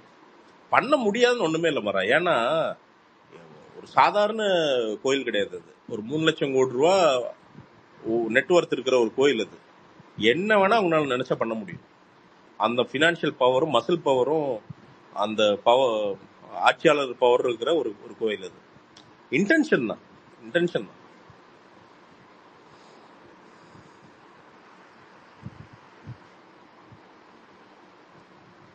அண்ணே இது ஏதோ இவரு கமல் சாரு சல்மான் கான் அவங்க ஏதோ காம்போ அட்லி டைரக்ஷன் நான் கேக்குறேன். நண்பன் கிட்ட கேக்குறேன். அட்லி கிட்ட கேக்குறேன். என்னன்ட்டு கண்டிப்பா இருக்கும்னு நினைக்கிறேன். எனக்கு தெரிஞ்சு அது இருந்தா செம பிரிச்சிருவார் மனுஷன் அட்லி எனக்கு தெரிஞ்சு. ஏன்னா ரெண்டு பேருமே செம்ம வேற வேற ஆட்டிடியூட் இருக்கிற மனிதர்கள். சல்மான் அண்ட் கமல் சார் ரெண்டு பேரும் சேர்ந்து அட்லி டைரக்ஷன் செம்ம கமர்ஷியலா இருக்கும். எஸ் ஜி கார்த்திக் ஜி உங்களோட ஸ்பீக்கர் இருக்கானா உங்க வாய்ஸ் கேட்கல செம்ம செம்ம கமர்ஷியலா இருக்கும். ஐ ஹோப் அது பாப்போம் வந்து வருதான்னு நினைக்க தெரியல. ஆனா தேவரா இங்கெல்லாம் நல்லா நல்லா ஓடுது போல தேவரா தமிழ் தமிழ் வெர்ஷனு அதை பத்தி யாரோ பேச சொன்னாங்க. எல்லாம் ஜூனியர் என்டிஆர் பாக்குறதுக்கு போன போறானுங்களோ இல்லையோ ஜான்வி கபூரை பாக்குறதுக்கு பூரா பேரும் போயிட்டானுங்க. இவனுக்கு கம்ப்ளீட்டா இவனுக்கு நிறைய பேர் போயிட்டானுங்க. கடன் வாங்கி டிக்கெட் வாங்கி போயிட்டானுங்க நிறைய பேர். அதை விட அந்த சுட்டமில் ஆனாங்க பத்து நிமிஷம் தானே வந்துச்சு. என்ன பத்திரி நிமிஷம் தான் வந்துச்சு. அதுல நான் தூங்கிட்டேன் சார். அது அது வர பாட்டு தான் தூக்கமே வந்துச்சு எனக்கு. பத்ரி உனக்கு வயசாயிருச்சுன்னு நினைக்கிறேன் பத்ரி அவன் கண்ணை வந்து இல்ல சார் அது ஒரு மாதிரி சப்பானி அது சப்பானி மாதிரி இருக்கு அது என்ன பாக்குறது இப்படிலாம் சொல்லாதயா உன்னை உன்னை தூக்கிட்டு போயிருவானுங்க அன்னைக்கு நைட்டு அவன் வந்து பாத்தீங்கன்னா இந்த மாஸ்க்ல அந்த கண்ணு வெளியில வரும்ல அந்த மாதிரி கண்ணை வெளியில விட்டுட்டு நாய் மாதிரி குலைக்கிறானுங்க பத்ரி எல்லாருமே. சீட்டை சீட்டு மேல ஏறிட்டு இந்த ஐசோ ஸ்பீடு குலைப்பா அப்படி இல்ல. ஆ வான்ட்டு அந்த மாதிரி ஜான்விக் அப்புறம். ஒன்ஸ் மோர்லாம் இல்ல கேட்டானுங்க அப்பவே நீங்க அப்பவே ஒரு இது இது சார் நம்பர் போட்டேன்னு சொன்னீங்களே. ஆமா. ஒரு த்ரீ இயர்ஸ் பேக் ம். ரொம்ப ஒரு உங்களுக்கு ஆன மாதிரி ப்ராப்ளம்னே வச்சுக்கோங்க. ஃபுல்லு நில்லு ஒண்டியா தான் இருக்க. ஃபுல்லு நில்லு ஓகே. எல்லாம் இருக்காங்க யாருமே இல்ல. ஓகே. அப்போ ஒரு தடவை கால் பண்ணலாம்னு நினைச்சேன். ஆனா அப்போ கேக்கல. ஹலோ சரி நம்ம பேசி நீங்க அப்போ என்ன ஆறுதல் சொல்லி பேசுவா பேசுவீங்க ஆனா அது எங்கன்னா சொல்லிடுவீங்கன்னு நினைச்சு பண்ண ஆனா அந்த மாதிரி இப்ப நம்பர் போட்டிருக்கிறது ரொம்ப நான் வந்து எப்படி சொல்லுவேன்னா எப்பவுமே நான் ஃபோன் கால் பண்ணா ஒருத்தர்கிட்ட பேசுவேன்னு சொல்லுவேன். யாருன்னு சொல்லவே மாட்டேன். அது நமக்கு பழக்கமே இல்லை. ஏன்னா அது ரொம்ப தப்பு இது. நம்மளை நம்பி பேசுறாங்க. ஸோ அதனால மேக்சிமம் ஊர் இந்த ஊர்ல இருந்து பேசினார் அப்படின்னு சொல்லுவேனே தவிர யாருன்னு சொல்ல அவங்க விருப்பப்பட்டு எதை சொல்ல சொன்னாங்கன்னா சொல்லுவேன். அதர்வைஸ் சொல்லவே மாட்டேன் பத்ரி. அது ரொம்ப தப்பு. நிறைய பேர் பாவம். அதான் நான் சொல்றேன். அப்போ அது ஒரு யூஸ் தானே ஒருத்தருக்கு ஒரு நீங்க நம்பர் ஐஏ ஐஏஎம்ல ஒரு பையன் அவன் பேர் நல்லா படிப்பான் போல. லவ்வர் பிரேக்கப் திடீர்னு அந்த பிரேக்கப் பண்ணி என்னை கூப்பிடுறான் ஒரு பையன். கூப்பிட்டு ரொம்ப உடஞ்சு போயிட்டான். ஓ, கிட்டத்தட்ட ஹஸ்பண்ட் ஒய்ஃப் மாதிரி வாழ்ந்துருப்பாங்க போல. அந்த பொண்ணுக்கு ரொம்ப பிடிச்சிருக்கு. இவனுக்கு ஏதோ ஏதோ உள்ள இஷ்யூஸ் பிரேக்கப்பு என்ன பண்றேன்னே தெரிலனான்ட்டு தலையில் கை வச்சுட்டு எனக்கு கூப்பிடுறான் அப்படி ஆளு. ஒரு கிட்டத்தட்ட எனக்கு தெரிஞ்சு ரெண்டு மூணு மணி நேரம் பேசணும் சும்மா பேசணும் எனக்கு எனக்கு அது ரொம்ப பிடிக்கும் அது இப்படி பேசுறது. என்ன என்னையா பிரச்சனை? அப்படின்னு சொல்லி கதையெல்லாம் சொல்லி உடியா? ஓகே ஷீஸ் கான்யா அப்ப புரிஞ்சுது அந்த பொண்ணு திரும்பி வராது அப்படின்னு. ஷீஸ் கான்யா உடு. விட்டுரு செமையா படியா. வெறித்தனமா படி. இந்த வெறியெல்லாம் அதுக்குள்ள கொண்டு போயிரு. படியா. செம்ம வேலைக்கு போயா. ஐஎம்ல இருக்க அப்படின்ட்டு. அந்த பையன் எஸ்டிஎஃப்சில ஒரு பெரிய பொசிஷன் போயிட்டு எனக்கு கூப்பிட்டான். கூப்பிட்டுட்டு அதான் அவனுக்கு அவனுக்கு ரொம்ப யூஸா இருக்கும் நீங்க பத்திரி பேசியிருக்கிறது அவ்வளவுதான் பத்திரி. என்னன்னா காசா பணமா இவனு நம்ம இது இவனு திடீர்னு இவன் பாத்தீங்கன்னா இந்த நம்ம குரூப்ஸ் வருவானுங்க. ஆனா அர்ஜென்ட்டா ஒரு ஐநூத்தம்பது ரூபா இருக்குமா? அப்படிங்குவானுங்க. ஏன்னா ஐநூறு ரூபாய்னா கண்டுபிடிச்சிருவோம் அப்படின்ட்டு. ஐநூத்தம்பது ரூபா ஐநூத்தி நாற்பது ரூபா மூவாயிரத்தி இரநூறு ரூபா அப்படிங்கிறது. இவனுங்க எல்லாருமே கோட்டர் கைகள். என்ன? கொடுப்பீங்களா? பத்து பைசா போகாது. அதை மட்டும் சொல்லிடுவேன் சாரி காசுன்னா ஹெல்ப் பண்ண முடியாது. யாருன்னு சொல்லு என்னன்னு சொல்லு விவரமா சொல்லு அப்புறம் யோசிக்கலாம். அது வரவே வராது நண்பா. நான் அதை நானும் பண்ணி பார்த்துட்டேன். நான் ஒரு அஞ்சு பத்து பேர்த்துக்கு அது பண்ணேன் பண்ண அதோட முடிஞ்சது அவ்வளவுதான். ஒருத்தன்லாம் கேர்ள் ஃப்ரெண்டுக்கு ரீசார்ஜ் பண்றதுக்கெல்லாம் கூப்பிட்டுருக்கான் பழைய இதெல்லாம் எடுத்து பாரு தெரியும். கேர்ள் ஃப்ரெண்டுக்கு ஆமா அவன் கேர்ள் ஃப்ரெண்டுக்கு தான். ஆமா ஆமா. கேர்ள் ஃப்ரெண்டுக்கு நான் சப்ஸ்கிரைபர் அதனால எங்க என் கேர்ள் கேர்ள் ஃப்ரெண்டுக்கு ரீசார்ஜ் பண்ணி விடு அப்படின்னா. அதாவது கிட்டத்தட்ட புரோக்கர் மட்டும் தான் நீ ஆகல மற்றபடி எல்லாத்தையும் என்னை கேட்பானுங்க ஸோ அதுதான் பத்திரி என்னன்னா இந்த ஃபோன் கால்ஸ் பேசுறது என்னன்னா அதுக்குதான். என்னன்னா நிறைய பேர்த்துக்கு பேசுறதுக்கு ஆள் இல்லைன்னுபா நண்பா. அன்னைக்கெல்லாம் ஒரு கூட்டு குடும்பமா கொஞ்சம் அண்டர்ஸ்டாண்டிங்கா அப்பெல்லாம் இந்த சொத்து பிரச்சனை எல்லாம் பெருசா எல்லாம் இருந்தது. இன்னைக்கு எல்லாம் பாத்தீங்கன்னா இந்த இடத்த வச்சிருக்கிறவன் பூரா இந்த ஒரு லட்ச ரூபாய் இடம் எல்லாம் ஒரு கோடி ரெண்டு கோடி ஆயிடுது. எல்லா சொத்துக்கு வந்து தலைய தலைமுடியை புடிச்சு சண்டை போட்டு குடும்பங்கள் எல்லாம் எல்லா குடும்பமும் பத்தா இருபதா பிரிஞ்சிருச்சு நண்பா எல்லா ஊர்லயுமே. ஸோ பேசுறதுக்கு ஆள் இல்லை யாருக்குமே. கைட் பண்றதுக்கு ஆள் இல்லை. அப்பா அம்மா கிட்ட கேட்கறதுக்கும் அவனுக்கு கூச்சம். அப்புறம் நம்ம கூட இருக்கிற ஃப்ரெண்டுகளை ஒன்னா நம்பர் மட்டிக்க எவங்கிட்ட கேட்கறது தெரியாம கூப்பிடுவாங்க. எனக்கும் ஒண்ணு என்ன தெரியும்னு கேட்டா எனக்கும் ஒன்றும் பெருசா தெரியாது. ஆனா ஓரளவுக்கு கைட் பண்ணுவேன் நான். என்னோட அனுபவத்துல ஓரளவுக்கு யாராவது ஒருத்தர் அப்படி ஏதாவது ப்ரொஃபஷன் சம்மந்தமான யாராவது நமக்கு ஃப்ரெண்ட்ஸ் யாராவது தெரிஞ்சுன்னா அங்கே கனெக்ட் பண்ணி விட்டுருவேன். அவர்கிட்ட பேசு ஒரு நல்ல ஒரு அட்வைஸ் கிடைக்கும் அப்படின்னு சொல்லி கனெக்ட் பண்ணி விட்டுருவோம். அவ்வளோதான் நண்பா. நம்ம நம்மளை நம்பி வீடியோஸ் பார்க்குறாங்க நமக்கு சப்ஸ்கிரிப்ஷன் தராங்க எனக்கு ரெவன்யூ அவங்க தான் தர்றாங்க. நாம் என்ன திருப்பி தர்றோம்? இதுதான் தருவோம். பேசிக் இது இது கூட பண்ணலன்னா அப்புறம் என்ன என்ன மனித வாழ்க்கை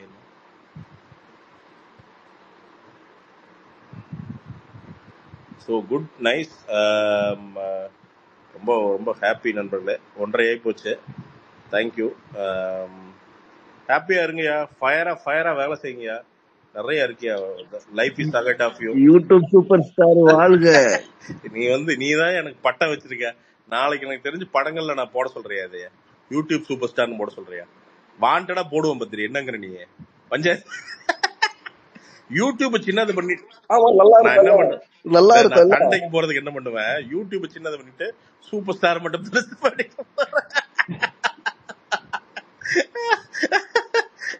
நம்ம சூப்பர் ஸ்டார் ரசிகரே. சொல்றோம் YouTube super star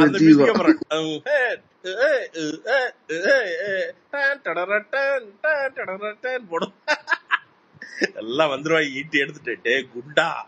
YouTube super ஸ்டார்னா நீ சூப்பர் ஸ்டார் மியூசிக்கே போடுறியாடா? பட் இதெல்லாம் தானே ஃபன்னு சாரியா தேவரா ரிவ்யூ என்ன பண்ண முடியலன்னா கண்ணு வீங்கிடுச்சு. சூட்ல ஏதோ கண்ணு பல்ஜ் ஆயிடுச்சு. ரெண்டு நாளா கண்ணை மூடிக்கிட்டு அப்படியே ஒரு மாதிரி குருடனா சுத்திக்கிட்டு இருந்தேன். இன்னைக்குதான் ஓரளவுக்கு பரவாயில்ல. நாளைக்கு பண்ற வி- கட்டி வந்திருக்கா? கட்டி வந்திருக்கா? ஆமா பத்ரி. அது சூடுதான். என்ன சூடோ என்ன பைத்தியாரனாட்டு சுத்தரமில்ல அதனால ஏதோ வரும். ஒரே இது ஒரு இது வரும். அது ஒண்ணு இல்ல நண்பா தேங்காய் எண்ணெய் தடவி தண்ணி குடிச்சா போயிரும் நண்பா. இதுக்கு கூலிங் கிளாஸ் போட்டுக்கிட்டே இந்த வாட்டி ரிவ்யூ பண்ணுங்க. அதுக்கு ஐ மீன் அதான் ஒரு ஐடியா பண்ணிருக்கேன் நானு. நாளைக்கு அதை பண்ணுவோம். ஏதாவது பண்ணுவோம். எனக்கு என்னன்னா கண்டென்ட் வந்து என்னன்னா எனக்கு புதுசா ஏதாவது பண்ணணும்னு வருது. இப்ப நானும் அதுக்கு அவசரமா பாலக்காடு போனேன். அந்த vlog vlogம் ஃபிளாப் ஆகி மைக்கும் தொலைஞ்சு போய் ரொம்ப ரொம்ப டிசப்பாயின்மெண்ட் ஆகி போச்சு எனக்கு. அதனால கொஞ்சம் ஆனா பேசாம இப்படி பண்ணா வச்சிருங்கண்ணே. என்னன்னா எந்த ஆக்டருக்கு தகுந்த மாதிரி ஒரு கெட்டப் போட்டு வந்து அப்படியே ரிவ்யூ பண்ணுங்க. இல்ல இல்ல நான் என்ன எவ்வளவு வெயிட் இருக்கீங்க இப்போ? இல்ல என்னன்னா ஆஹ், எவ்வளவு வெயிட் இருக்கீங்க எவ்வளவு? வெயிட் வெயிட் இருப்ப ஒரு நூத்தி ஆறு கிலோ இருப்பேன்னு நினைக்கிறேன். ஒன் மந்த்ல எவ்வளவு கம்மி ஆகலாம் ஒன் மந்த்ல என்ன கம்மியாகல? ஒரு நூத்தி அஞ்சு கிலோ. ஒன் மந்த்ல 15 கேஜி கம்மி ஆகலாம் பத்ரி அதெல்லாம் கம்மி பண்ணிருக்கையா? சாரி அதெல்லாம் அதெல்லாம் ஹெல்த்திவே கிடையாதுங்க. ஒரு ஒரு கிலோ ரெண்டு கிலோ அப்படியே பொறுமையா கிராஜுவலா போனா கரெக்டா இருக்கும். மேட்ரு என்ன தெரியுமா? வெறித்தனமா நூறு நாள் ஃபாஸ்டிங் இருந்து கிட்டத்தட்ட பன்னெண்டு கிலோல குறைச்சிருக்கேன் அது வந்து எனக்கு சைடு எஃபெக்ட்லாம் வர ஆரம்பிச்சிருச்சு. அதனால பொறுமையா வாக்கிங்ல தான் நான் வந்து ஒரு பாயிண்ட்ல கம்மி பண்ணேன். ரொம்ப சூப்பரா இருந்துச்சு. ஒரு டூ தௌசண்ட் சார் நான் சார் ஒரு நான் வாக்கிங் தான் சொல்றேன். வாக்கிங் சொல்றேன். நான் உங்களுக்கு ஒரு வாட்ஸ்அப்ல ஒரு போட்டோ அனுப்புறேன். ஒன் மந்த்ல லெவன் கேஜிஸ் ஓகே சூப்பர் ரெண்டு தடவை இல்ல மூணு தடவை. வாக்கிங் நல்லா பண்ணுவையா நான் fifteen thousand steps sixteen thousand steps கன்சிஸ்டண்டா பண்ணிட்டு இருந்தால்தான் ஸ்டார்டிங் ட்ரபிள் தான். ஆரம்பிச்சிட்டேன்னா பண்ண ஆரம்பிச்சிருவேன். அவ்வளவுதான். இல்ல அதே விளாகா எடுத்து பண்ணிட்டு அதுல கொஞ்சம் எனக்கு என்னன்னா இந்த ஹவுஸ் வார்மிங் நம்ம போறோம்ல அப்பவே எங்க அம்மா கிட்ட சொல்லிட்டு தான் சொல்லிட்டு தான் வந்திருக்கேன். நான் நவம்பர் மாசம் தான் வருவேன். அதுக்குள்ள உடம்பு குறைச்சிட்டு தான் வருவேன்னு சொல்லியிருந்தேன். போனா அப்புறம் எங்க அம்மா பயங்கரமா கிண்டல் பண்ணும் அதனால அதுக்காண்டியாவது ஏதாவது சரி பண்ணிடணும். அதுக்கு அதுக்கு ஒரு அதுக்கு ஒரு வேலை பார்த்துட்டு தான் இருக்கிறேன் நான். இந்த ஒரு வாரமாவே அது ப்ராசஸ் ஆரம்பிச்சிருச்சு. கொஞ்சம் உடம்பு வளைய மாட்டேது. பட் வளைச்சிருவோம்.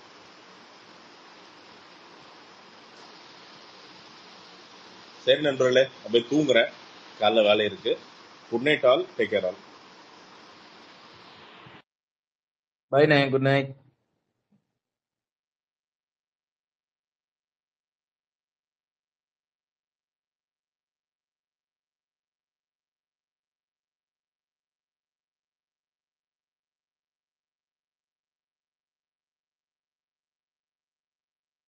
ராத்திரி நான் தூங்கிட்டாரு போலயே